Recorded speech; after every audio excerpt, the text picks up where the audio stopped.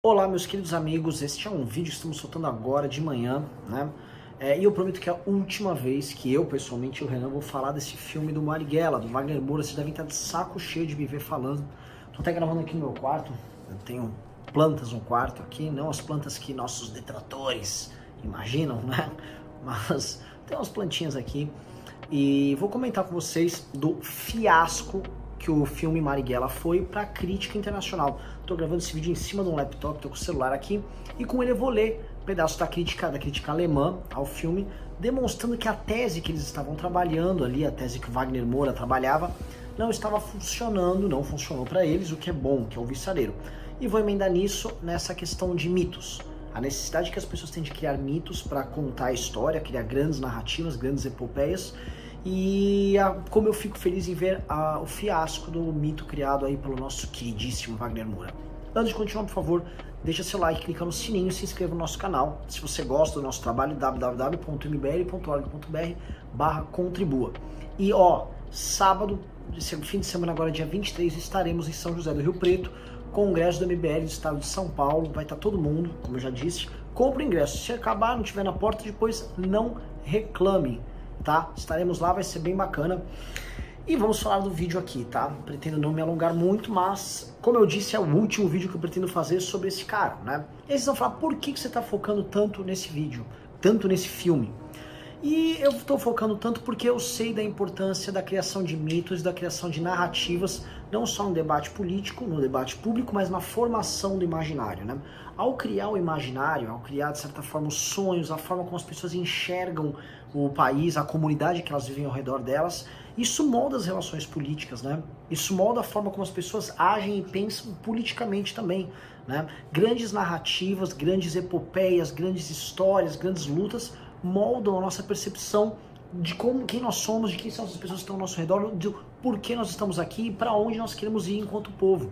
Né? Por isso todos os povos, todos os grandes povos da humanidade têm as suas grandes epopeias, têm as suas grandes histórias mitológicas. E esses mitos ajudam a formar essas nações. Né? É uma frase do Eric Fögling que fala: não são as nações que formam os mitos, mas são os mitos que formam as nações.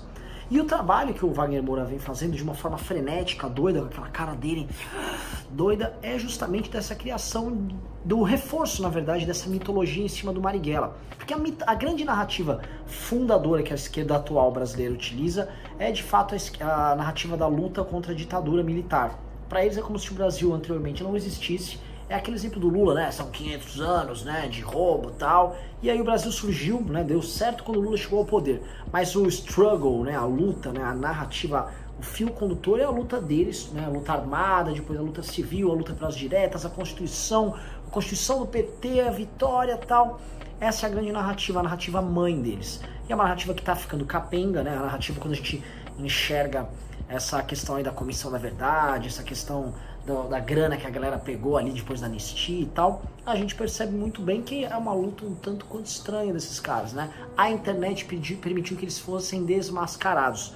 Mas não vamos uh, nos alongar nesse, nesse aspecto, né? O que o Wagner Moura faz é criar um herói novo ali.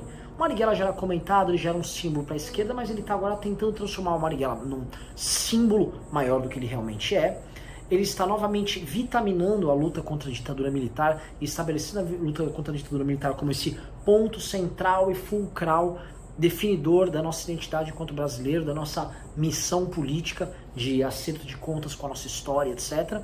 E aí, ao, ao fazer isso e estabelecer esse Marighella como um herói, ele tenta fazer um vínculo com hoje, né? Porque qual é o vínculo que ele tenta traçar com hoje em dia? Ele faz paralelos, né?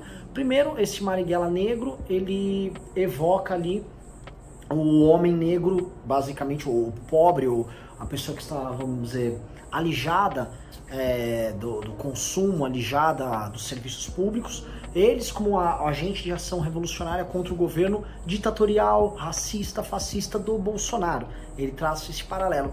E é interessante que os críticos alemães que defenestravam, a crítica foi muito ruim ao, ao, ao filme do Marighella ali na, na imprensa alemã, a crítica ela vai nessa linha, ah, olha só, ele está estabelecendo um paralelo, né? E novamente, o fio que ele faz é esse fio racial, né? Ele estabelece o Marighella negro, ele estabelece o Lúcio, que basicamente é o Fleury, o delegado Fleury, como um cara racista, um torturador mau, racista, e aí faz a pessoa faz a transposição para os dias de hoje, e nos dias de hoje a, as pessoas fazem essa conexão. Poxa, é o está falando mais pobres, o povo negro enfrentando este mal militarizado, essa direita imunda né, que ele tenta construir. Vou ler trechinhos aqui né, dessa crítica. Ó.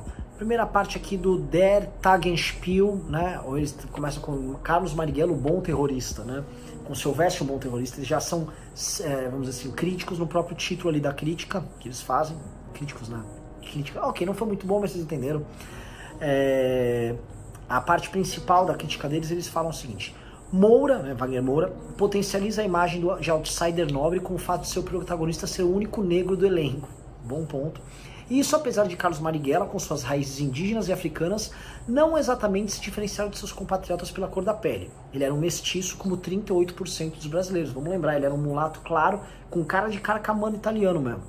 Apresentá-lo como negro e transformá-lo em alvo com uma frase como matar um negro significa matar um vermelho é sair do conflito político e transformá-lo num conflito racista.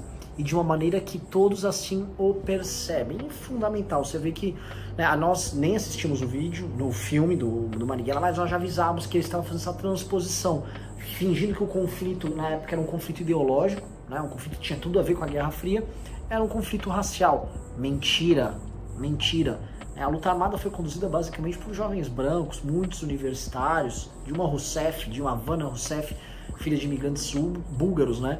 É, posso dizer que as forças de segurança tinham muito mais negros fazendo enfrentamento a essa turma de jovens brancos é, letrados do que o contrário, né? Mas tudo bem, isso não merece muito comentário agora. A RBB chamou o filme de uma epopeia cansativa, né? É, eles destacam umas frases do filme. Não somos terroristas, grita Marighella aos reféns de um assalto ao banco, que é muito bom. Somos revolucionários. E presta atenção, né? O ato, né, você sequestrar pessoas, assaltar um banco, como pro ato pro esquerdista, ele, para ele não é terror, para ele é revolução. Né? É, famosos fins justificam os meios, tudo é justificável dentro da ação revolucionária. Aí vai, é, ele vai, ah, ele entra num aspecto que até é um aspecto que demonstra a fragilidade da direção do Wagner Moura, né? O herói tende a monólogos impulsivos e discussões que, apesar de, da determinação com que são feitas, são estranhamente sem vida. Dúvida e ambiguidade não estão previstas em Marighella. Isso vale também, é claro, para o protagonista e seus aliados, e sobretudo para o grande antagonista, o investigador Lúcio. O que, que ele quer dizer com isso? Ele criou personagens planos, né? O Marighella impulsivo, disposto a ir para a guerra dele, o, o, herói revolucionário, e os adversários, obviamente, planos idiotas, tipo o delegado Lúcio, o investigador, é um cara mau, que era, não gosta de pobre e que é racista, né? Ele, ele é binário, que ele quer transformar também isso como se fosse um panfleto propagandístico, fazendo elo com hoje em dia com as forças de segurança, as forças no poder, o Bolsonaro, etc. Mal, racista, que gosta de pobre, e o Marighella que faz esse convite para essa pessoa que está assistindo o filme hoje em dia. Ei, você sou eu hoje enfrentando esse cara. Por fim, a maior crítica de todas é a do Taz, né? Dizendo já com um título muito bom, a guerrilha sempre tem razão. É... Aqui ele também comenta né, sobre o agente de segurança Lúcio, que foi feito pelo chorão do Bruno Gagliasso. Né? O sistema de segurança brasileiro de então, de fato em parte fascista, é extensivamente exibido na figura do agente assassino Lúcio, e a reconstrução de cenas de tortura ultrapassa os limites do cinematicamente suportável. A violência institucional obtusa e de fato existente não precisa ser exibida de forma tão naturalista e duradoura como foi feito neste filme. Ele está dizendo o básico o, o, o Wagner Moura na direção dele tão focado em demonizar, em criar personagens tão claramente maus, né? Ele exagera nas cenas de tortura, obviamente para criar aquele efeito na pessoa que está assistindo na plateia, meu Deus, como eles são maus, tal, né? Enquanto que ele, né, pega o bom guerrilheiro, né, o bom terrorista, ou no caso o Marighella, e justifica com viés revolucionário, né? Os fins justificam os meios, as ações dele, né? É, Aí eles terminam aqui. Penetrante e grotesca é a representação da influência do governo americano nos acontecimentos da América Latina. Até hoje ela serve do populismo de esquerda local como desculpa para o próprio fracasso. Maravilhoso. Final da crítica do, do Zazo, é Taz? Como é que é? Taz. Zazo é o Arthur, o Zazo. Brincadeira aí, brincadeiras à parte. crítica termina de forma maravilhosa, né? ficam relevendo, relendo esses demônios do passado como justificativa para os próprios fracassos. Né? Essa esquerda, não só no Brasil, na América Latina como um todo, que enfrentou as ditaduras militares, que enfrentou uh, o resultado da, ali da Guerra Fria, o que ela se propôs a fazer não deu certo.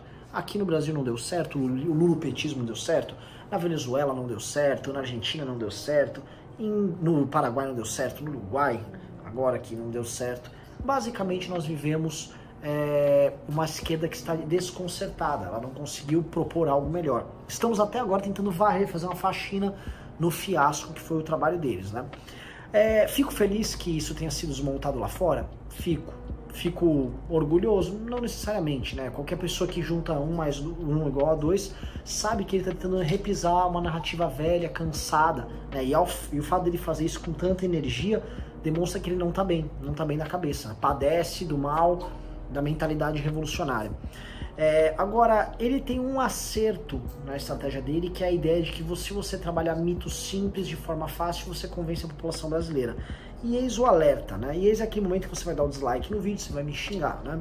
O brasileiro se apega a narrativas muito simples. E como ele é um povo carente de mitos, carente de heróis, carente de história, carente de, de dessas epopeias, desses mitos que ajudam a criar o povo, como eu falei no começo do vídeo, ele está ultimamente, porque a internet inclusive permite a criação de, de narrativas muito fáceis, ele está caindo em muita historinha, né? Esse debate que houve agora relativo ao Bebiano, o Carlos Bolsonaro, onde as pessoas saíram fazendo desenhos do Carlos Bolsonaro vestido de Capitão América, né? A própria mitologia que as pessoas criaram do Jair Bolsonaro, que não é justificada, né? O cara é uma pessoa normal, né? Ele não vai fazer nada de mitológico. As pessoas, basicamente, no caso delas, elas projetaram um mito nele e falaram: você é esse mito que a gente quer. E ele mesmo não é. E ele mesmo sabe disso. Né? Até estão com expectativas irreais. A, a necessidade que as pessoas têm de criar esses mitos criam expectativas ilusórias e reais.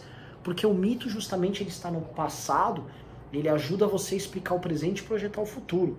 Mas quando você projeta um mito, projeta um mito no futuro, cara as consequências são péssimas. Você vai esperar coisas reais e pior, você acha que coisas absurdas que são feitas em nome desse real são justificáveis. E aí você justifica regimes, inclusive totalitários. É o que vai acontecer aqui no Brasil? Acho que não. Mas essa carência nossa quando ela, ela não é suprida, as pessoas, como a gente está enxergando, fazem besteira. Isso é muito ruim para o debate político, que ele tem que ser mais racional, mais frio. Eu sei que eu estou pregando no deserto, eu sei que você vai falar, esse cara é um idiota tá falando aqui e tal. Tudo bem, pode me chamar de idiota, entendeu? É, a história já está farta, está repleta de exemplos ruins nesse sentido. O Wagner Moura sabe, ele conhece o básico da história e sabe como você pode manipular o povo criando esses falsos mitos. Por sorte, o falso mito do Marighella não deu certo, ao menos na Alemanha, mas eu posso dizer com certa tranquilidade que não dará certo no Brasil. É isso aí, galera. Obrigado por ter acompanhado até o final. Um abraço para todo mundo.